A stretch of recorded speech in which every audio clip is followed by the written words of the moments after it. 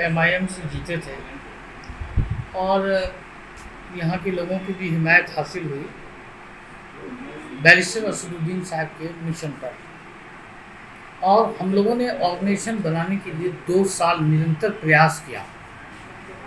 प्रदेश अध्यक्ष अख्तर ईमान साहब से, चूँकि इसका मिसाल है पूर्णिया जिला। पूर्णिया जिला में शहनवाज साहब यहाँ एम के अध्यक्ष हुआ करते थे। उनके अध्यक्ष होने के बाद संगठन की निष्क्रियता के कारण आज कहीं भी इस जिला में न जिला अध्यक्ष है, न प्रखंड अध्यक्ष है। और अभी जो पूरे भारत का माहौल है, सांप्रदायिक शक्तियों के विरोध में हम लोगों ने स्वेच्छा से राष्ट्रीय जनता दल ज्वाइन किया। और इस पर अनगनल बयानबाजी पार्टी के प्रदेश अध्यक्ष द्वारा जगह जगह पर आम सभा के द्वारा, जैसे एक मुफ्ती कोई फतवा देता है, लगता है कि उनकी फतवा पर ही सीमांचल का विकास डिपेंड है।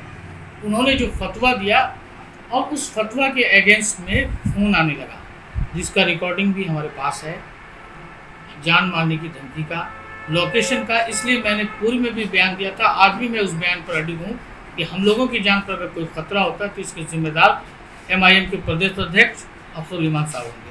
अच्छा वो जो धमकियाँ आपको मिल रही है, वो कोई कार्यकर्ता कर रहे हैं या उनके नाम पर कोई कर रहा है ऐसा? उनके रेफरेंस में कार्यकर्ता लोग कर रहा है आउट ऑफ़ स्टेट्स का कर रहा है।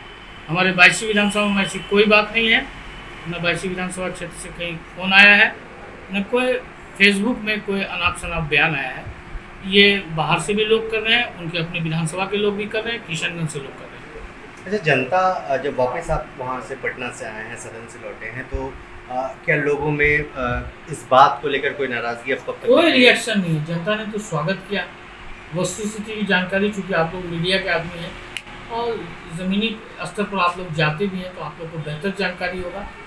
पब्लिक ने कहा कि भाजपा के खिलाफ जो सबसे बड़ी शक्ति है उसमें आप गए हैं और हम लोग आपका स्वागत करते हैं।